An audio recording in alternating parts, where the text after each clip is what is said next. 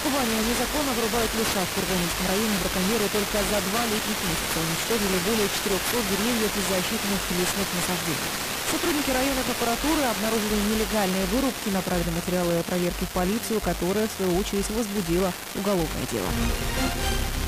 На Кубани планируют построить еще одну трассу к Крымскому мосту. Как сообщает газета «Ведомости» со ссылкой на «Автодор», госкомпания, российский Минтранс и Росавтодор уже ведут переговоры. Стоимость строительства одного километра новой скоростной дороги пока оценивают в 1 миллиард рублей. Точный маршрут трассы пока не определен. Планируется, что новая дорога начнется около Темрюка, пройдет южно